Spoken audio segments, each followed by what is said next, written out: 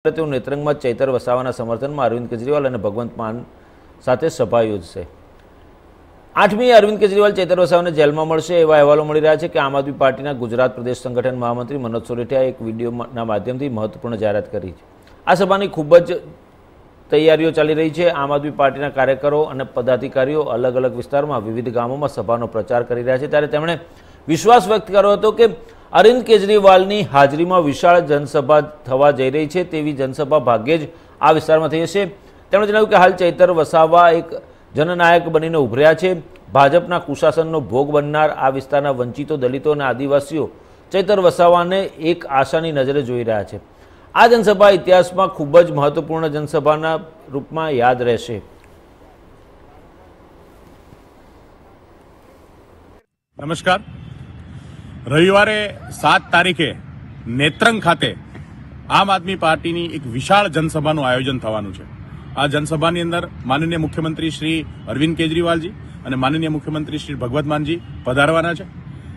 રવિવારે સવારે વડોદરા ખાતે એ એમને એ પહોંચશે અને ત્યાંથી નેત્રંગની અંદર આ સભાનું ને સંબોધિત કરવાના છે. ત્યારબાદ આમ આદમી પાર્ટીની લોકસભાની ચૂંટણીની તૈયારીઓને લઈ અને એક બેઠકનું આયોજન થવાનું છે.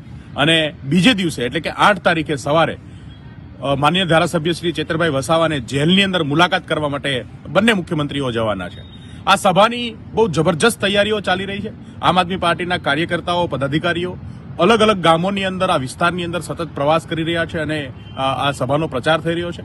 મને પૂરો ભરોસો છે કે સાત તારીખે આ વિસ્તારમાં કદાચ આયોજિત થઈ હોય એવી વિશાળ જનસભાનું આયોજન થવાનું છે. ચેતરભાઈ એક જનનાયક બનીને ઉભર્યા છે.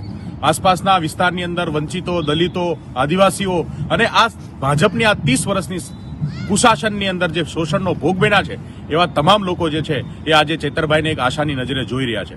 આ જે જનસભા છે, એ ઇતિહાસની અંદર બહુ મહત્વપૂર્ણ સભા તરીકે હંમેશા માટે યાદ રાખવામાં આવશે. વિશાળ જનસભામાં એક તરફ જ્યારે અરવિંદ કેજરીવાલ અને આમ આદમી પાર્ટી ઉપર ભારતીય જનતા પાર્ટી અત્યાચાર કરી રહી છે, ચેતરભાઈ ઉપર અત્યાચાર કરી રહી છે. એ સમયની અંદર ગુજરાતની આ જનસભા એક મહત્વનો પોઈન્ટ સાબિત થવાનો છે અને આમ આદમી પાર્ટી પૂરી તાકાત